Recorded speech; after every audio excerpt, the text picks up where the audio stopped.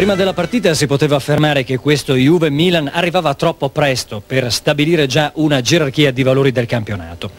Ora, dopo la partita, si può dire che anche la rete di Casiraghi è arrivata troppo presto per poter assistere ad un match spettacolare. Rivisitando la cronaca, dividiamo l'incontro in almeno quattro fasi. Nella prima, fino al trentesimo del primo tempo, i bianconeri dimostrano una concentrazione, un temperamento da primato, passando in vantaggio proprio con l'attaccante monzese. Nella seconda fase, e cioè negli ultimi 15 minuti della frazione, i rossoneri escono dall'anonimato, si scrollano di dosso l'alibi dell'assenza di Van Basten e cominciano ad essere se stessi. La terza fase della gara coinvolge i primi 25 minuti della ripresa, mettendo in rilievo la condotta rinunciataria della Juve, il dominio a tutto campo del Milan, ma anche l'assoluta mancanza di conclusioni sui due fronti. È Gullit al 27 a spezzare l'incantesimo e lasciare intendere che il pareggio non è un'utopia.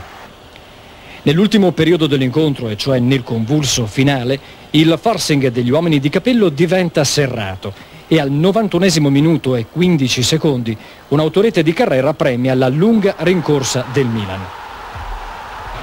La Juve si è adattata tatticamente all'avversario in modo impeccabile, schierando quattro laterali al pari del Milan, arretrando Casiraghi per creare spazio a beneficio di Baggio e sfoggiando una retroguardia nella quale Kohler è in condizioni straordinarie.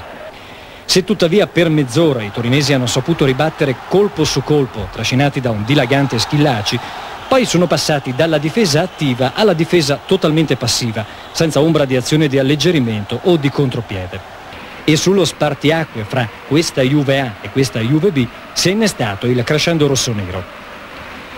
Il Milan non è piaciuto nella prima parte della gara, quasi intimidito dall'assenza di Van Basten e dalla determinazione degli avversari.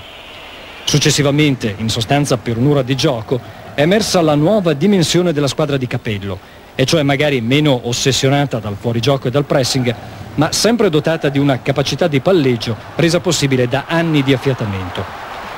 La formazione tipo dell'immediato futuro appare già un rompicapo per il tecnico. Van Basten ha bisogno di Serena, così come il Milan necessita della fantasia di Donadoni e così come fa molto comodo il Gullit tornante destro della ripresa.